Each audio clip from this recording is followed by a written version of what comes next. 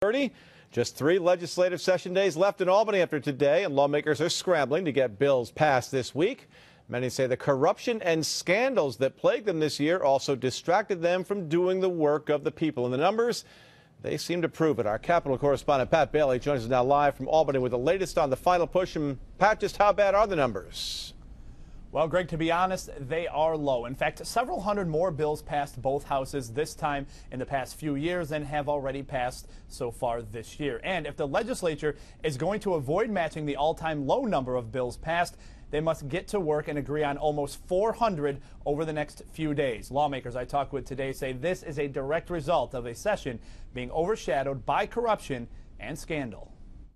Over the past six months, lawmakers have been dealing with questions about corruption, and it's gotten in the way of work. According to the New York Public Interest Research Group, only 194 bills have passed both the Senate and Assembly this year. That's 31 fewer than this time last year, and almost 200 fewer than this time in 2011.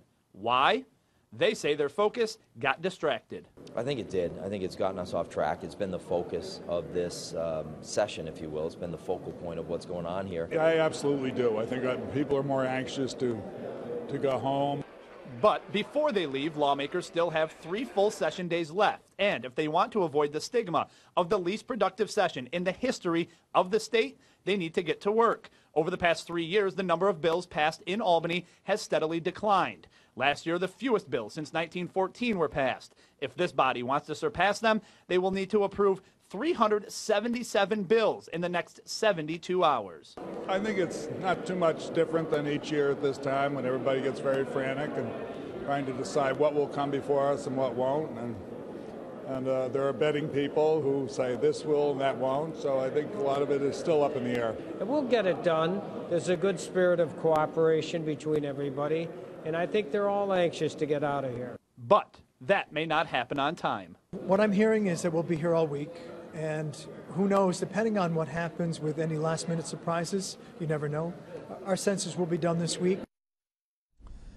Now, as you remember, those scandals all started last fall when it was made public a secret $103,000 settlement payment was made to two of former Assemblyman Vito Lopez's staffers, and it was approved by Speaker Sheldon Silver. Then, in the spring, there was one arrest after another of Assembly members and senators, five total this session, Greg.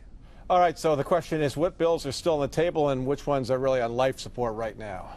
Well, of the quote unquote important ones, the ones the governor wants to see done, here's what's up in the air. Women's equality and a corruption bill. Both were introduced late by the governor, but both admittedly today dead by the governor. He mentioned it on the radio. There's also still the issue of casinos, tax free zones, and the restructuring of local government boards. The governor said today on the radio as well he wants to see all of them done this session. If so, that means they will all have to happen now in the next 72 hours. I should mention a leaders meeting was just held between the governor and the legislative leaders behind closed doors, and it broke broke up about an hour ago. Not much was said when they came out, other than the fact that IDC leader Jeff Klein was quoted as saying they all want to be done by Thursday. I'm sure they do. Hey, didn't I hear that the $90 million for uh, disability programs was restored today?